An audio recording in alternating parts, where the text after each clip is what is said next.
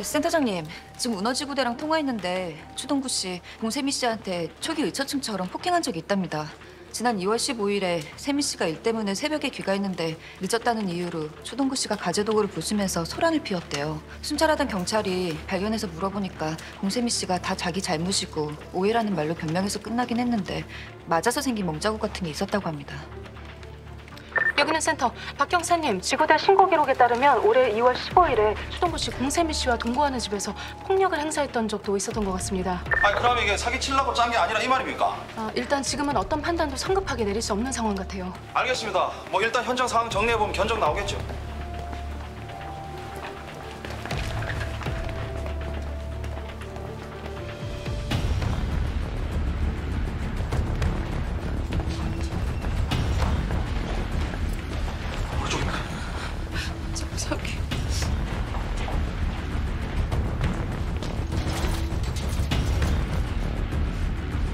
자 다들 긴장 풀지 마십시오.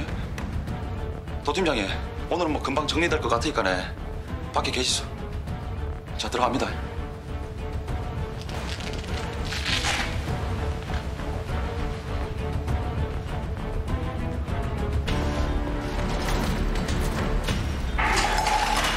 최동호 씨 경찰입니다.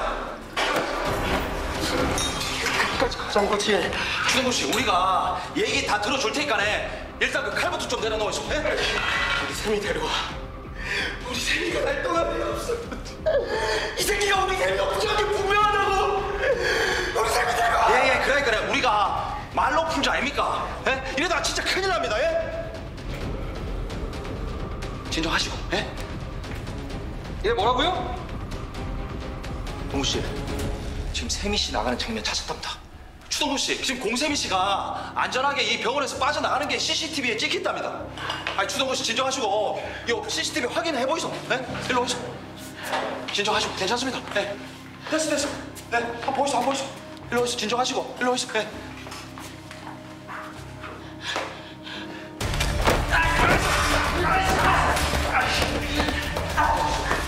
세상에 법이라는 게 있는데 무턱대고 칼부터 휘어들면 웃잡니까?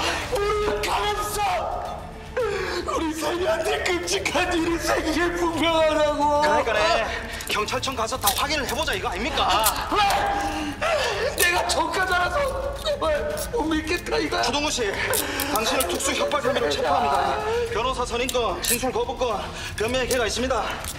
가만 있어.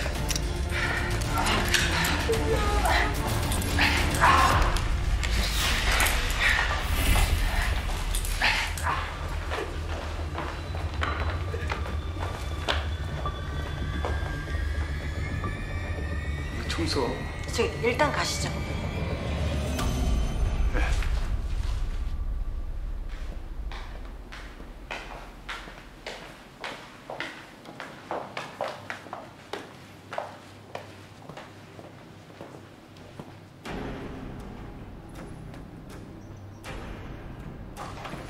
우리 샘이 찾아야 된다 샘이야 주동우 씨, 우리 나이 더어가 조사하면 다 나갈게요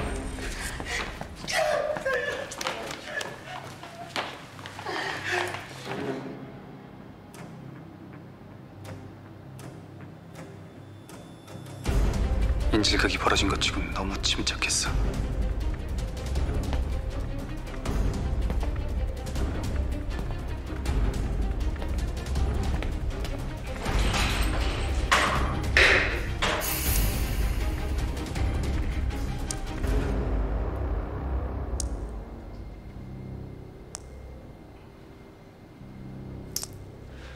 여기는 출하나.